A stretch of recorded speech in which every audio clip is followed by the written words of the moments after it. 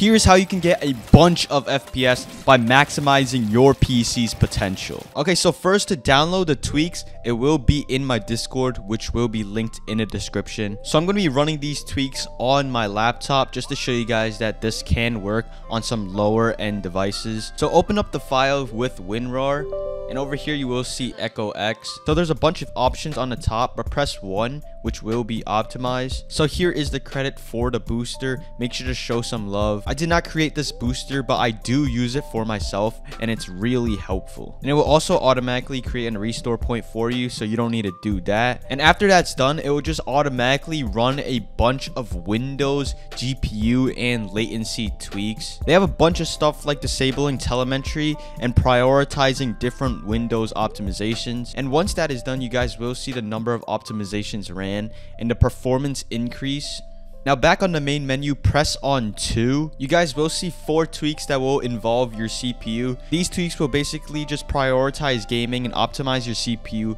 for higher performance. Now lastly, go to the presets option and press on 3 which is performance. Now reset your PC so it will apply all these tweaks.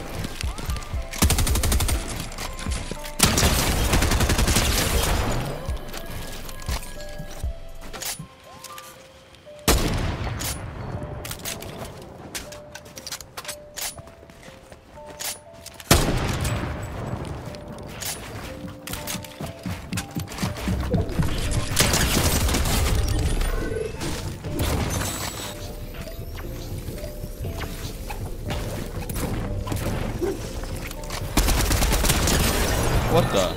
I hit that? Bro, my, my teammate wants to add me after that.